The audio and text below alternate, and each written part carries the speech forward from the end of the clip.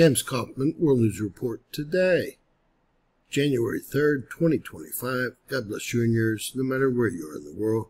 Please subscribe, give us a thumbs up, ring that bell for critical future updates.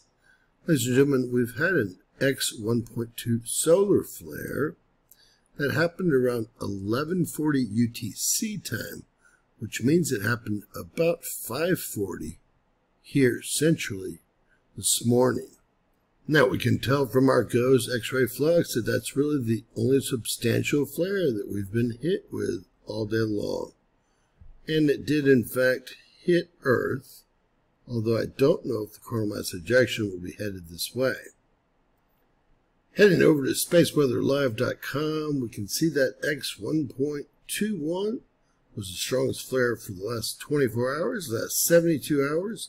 Everything we've seen generated today although everything else is a C flare, came from Sunspot AR 3947. Although I will say that it looks like on GOES Solar Ultraviolet Viewer that we're having another flare currently.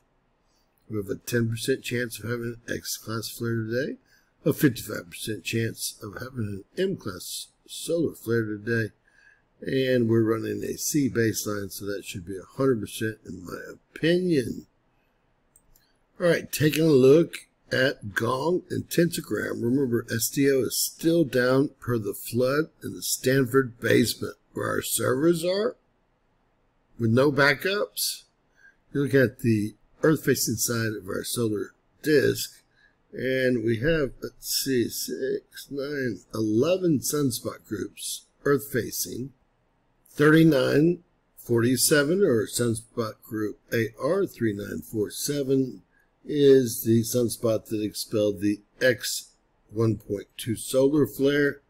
And I think we'll see some activity from 3945.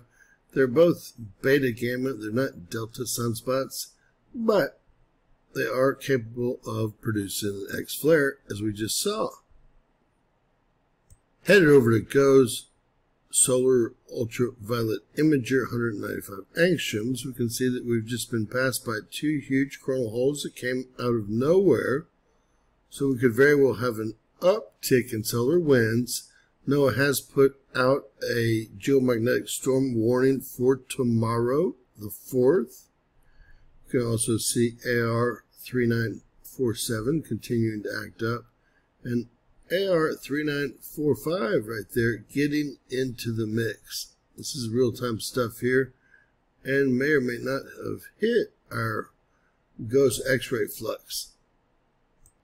So, headed over to our D-Region Absorption Prediction Center, we see the direct hit over South Africa and the Atlantic of the X-ray.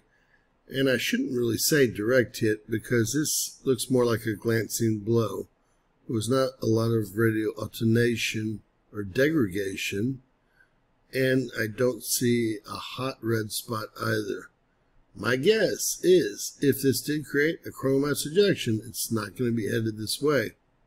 And they have modeled the X-flare, as you can see, heading off to directly hit Venus here, as you can see.